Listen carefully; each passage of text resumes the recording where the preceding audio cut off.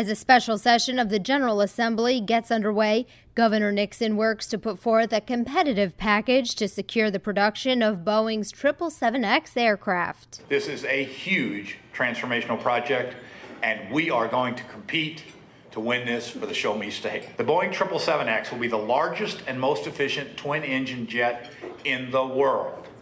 And the demand for this state of the art aircraft is already unprecedented.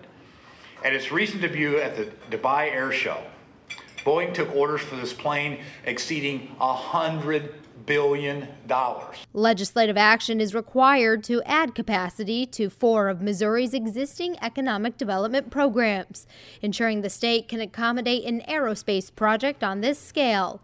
If secured, the project would have an unprecedented impact on the state's economy. It would create thousands of career supporting jobs for Missouri workers open new opportunities for suppliers in every corner of our state, and build a bridge over the uncertain waters we see ahead to a brighter, more secure future for Missouri's entire aerospace industry, commercial and defense. This would be another coup on the job creation front, for which the state of Missouri and Governor Nixon were honored just last week by Progress 64 West, a civic organization promoting economic growth in the St. Louis area. They've got the facilities and they've got the workforce and, and quite capable of doing that work. So I think it's just a perfect fit for the St. Louis area. For a copy of Governor Nixon's call for a special session, visit mo.gov.